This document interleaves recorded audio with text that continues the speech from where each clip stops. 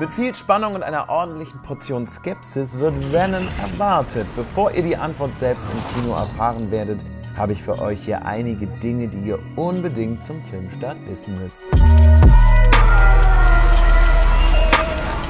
Zu Beginn ist es sicherlich hilfreich zu erfahren, worum es letztlich in Venom überhaupt geht. Im Film kommt der investigative Journalist Eddie Brock den zweifelhaften Machenschaften der Life Foundation auf die Schliche, die mit außerirdischen Symbionten experimentiert und arbeitet. Während seiner Untersuchungen verbindet sich der Symbiont namens Venom mit ihm, also Eddie, und zwingt ihn, seine extraterrestrischen Gewaltfantasien auszuleben. 太拼了 Tom Hardy hat hier die Hauptrolle übernommen und sein Sohn Louis ist selbst ein großer Venom-Fan und ihm zuliebe hat Tom Hardy die Rolle unter anderem angenommen. Er wollte etwas tun, was auch sein Sohn schauen könnte, daher habe er sich extra etwas ausgesucht, wo er Menschen den Kopf abbeißt, gab Tom Hardy ironisch in einem Interview zum Besten. Tatsächlich half auch ihm sein Sohn bei der Ergründung des Charakters, da Tom Hardy die Figur noch nicht sonderlich gut kannte.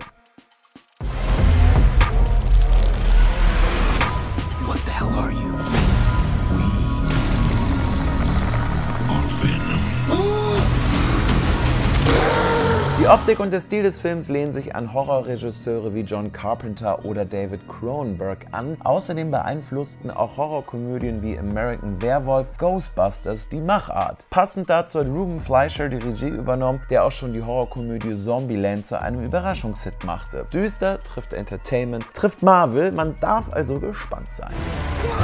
Ursprünglich sollte ein Venom-Einzelfilm schon viel früher erscheinen und direkt als Spin-off vom 2007er Spider-Man 3 gedreht werden. Doch als klar war, dass Venom-Darsteller Topher Grace nicht zurückkehren würde und klar war, dass es ein Reboot von Spider-Man geben sollte, musste alles erneut auf Null gesetzt werden und der Titel Venom Carnage wurde announced. Weitere Reboot-Pläne und die enge Zusammenarbeit von Sony Marvel sorgten wieder für Wartezeiten. Ob es bei einem einmaligen Ausflug von Venom bleibt, entscheiden letztlich wohl Qualität und das Einspielergebnis.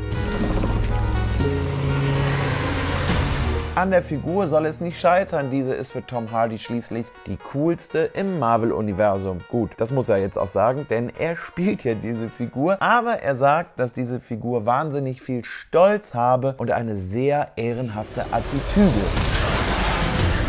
Außerdem sei er ein tragischer Clown, der seine Superkraft nicht haben will und zur gleichen Zeit dennoch liebt. Er ist somit Held und Anti-Held zugleich.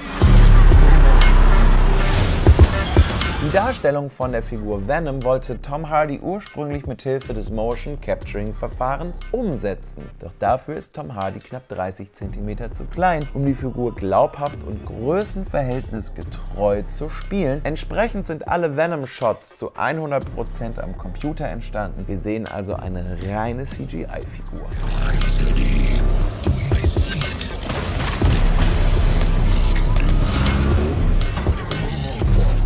Jedenfalls schauspielerisch sollte bei diesem Film nichts anbrennen, denn es mangelt nicht an preisgekrönter bzw. Oscar-nominierter Unterstützung. Neben Tom Hardy selbst sind nämlich auch noch Michelle Williams und Woody Harrelson an Bord. Und auch wenn es der fünfte und letzte Marvel-Comic-Film in diesem Jahr ist, so ist Venom ähnlich wie die X-Men und Deadpool kein Teil des Marvel Cinematic Universe. Thanos hat hier also noch nirgends geschnipst.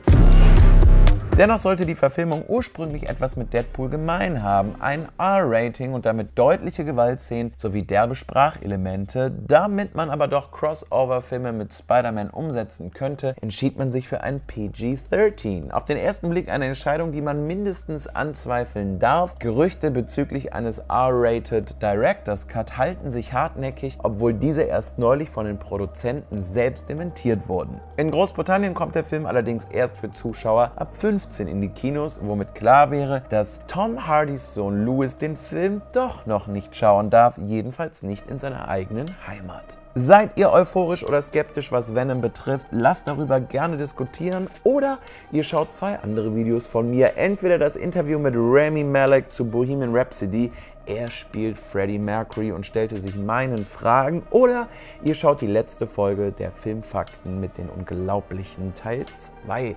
So oder so, ihr werdet weise entscheiden. Wir sehen uns bald wieder. Macht es gut und adieu.